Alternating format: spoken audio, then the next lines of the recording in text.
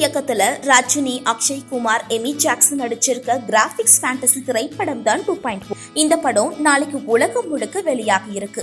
இந்த நிலையில சென்னையில இருக்க திரையரங்குகள்ல அதிகாலை காட்சிகள் திரையிடப்படுமா என்ற எதிர்பார்ப்பு ரசிகர்கள் மத்தியில நிலவுது.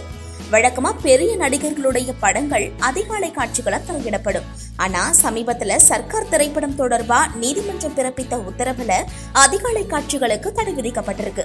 இதனால டூ பாயிண்ட் படத்துக்கு அதிகாலை காட்சிகள் கிடையாதுன்னு சொல்லப்படுது.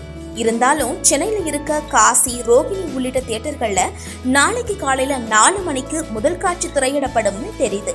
இந்த முதல் காட்சிக்கு ஐநூத்தி ரூபாய் வரை டிக்கெட் கட்டணம் வசூலிக்கப்படுறதாம சொல்லப்படுது.